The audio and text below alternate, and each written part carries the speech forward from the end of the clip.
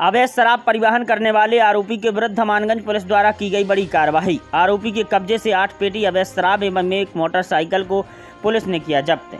Police अधीक्षक पन्ना, श्री साई कृष्ण अस्थोटा द्वारा पन्ना ज़िले के समस्त थाना प्रभारियों को अपने अपने थाना क्षेत्र में अवैध शराब, शस्त्र, मादक पदार्थों की बिक्री, भंडारण, परिवहन एवं निर्माण करने वाले व्यक्तियों के विरुद्ध कार्यवाही किए जाने हेतु निर्देशित किया गया था। पुलिस अधीक्षक पन्ना के निर्देश अनुसार ज़िले के समस्त थाना प्रभारियों द्वारा अपने अपने थाना क्षेत्र में अपने मुखबिर तंत्र को सक्रिय किया गया है।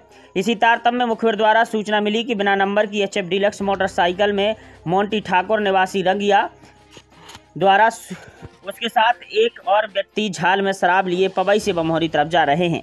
सूचना से वरिष्ठ अधिकारियों को अवगत कराया गया। श्रीमान पुलिस अधीक्षक महोदय के निर्देशन में अतिरिक्त पुलिस अधीक्षक महोदय श्रीमती आरती सिंह एवं एस महोदय गनौर के मार्गदर्शन में तत्काल अमानगंज पुलिस द्वारा टीम गठित कर सूचना की तस्दीक कर कार्यवाही हेतु बमोहरी तरफ़ रवाना हुई, जहाँ प्रमोद लोधी के घर के सामने ग्राम कुदरा पहुंचकर मौके पर उपलब्ध अवरोध लगाकर मोटरसाइकिल रोकने का इंतज़ाम किया गया, एवं मुखबिर की सूचना अनुसार मोटरसाइकिल के आने पर रोकने का प्रयास किया, जो आरोपियों द्वारा मौके पर मोटरसाइकिल में शराब से भरी झाल को छोड़कर भाग गए।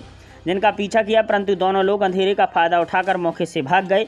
झाल के समक्ष गवाहन रामकरण वंशकार, पिता श्यामलाल वंशकार, उम्र छत्तीस साल, निवासी, ग्राम मझगवा सरकार एवं आरक्षक पाँच सौ इक्यानवे, तुलसी अनुरागी थाना मानगंज के खोल कर देखा, जो झाल में देसी गोवा विस्की मसाला शराब के 400 क्वार्टर रखे पाए गए।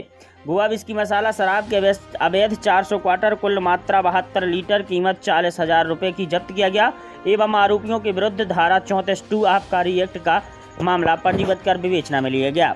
उक्त संपूर्ण कार्यवाही में थाना प्रभारी अमानगंज महेंद्र सिंह भदौरिया, प्रधान आरक्षक मुकेश सोनी, प्रधान आरक्षक राजीव मिश्रा, हेमंत कौरव, गिरधारी बरदानी, तुलसीदास, द्वारका अहरवार, मेहरबान सिंह, विश्वास शुक्ला, कोमल चक्रवर्ती एवं करण पटेल का सराहनीय योगदान रहा।